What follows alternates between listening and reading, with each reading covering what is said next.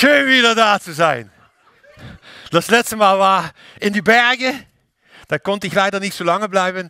Und das zusammenzuführen im Sinne von typen- und situationsgerechter Führung, da möchten wir heute unter anderem drüber sprechen. Bei den D-Typen sehen die Straßen so aus. Immer geradeaus, sechsspurige Autobahn, damit maximale Geschwindigkeit möglich ist. Warum?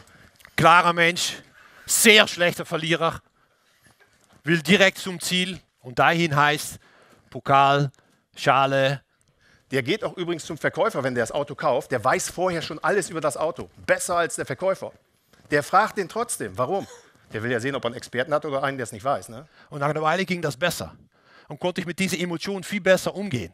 Und mich, mich dann mal vor den Schiedsrichter gestellt hat, um zu sagen, ähm, sprechen Sie nicht mit den anderen, sondern sprechen Sie mich an. Auf eine Art, so dass er gedacht hat, aha, das gibt mir Ruhe.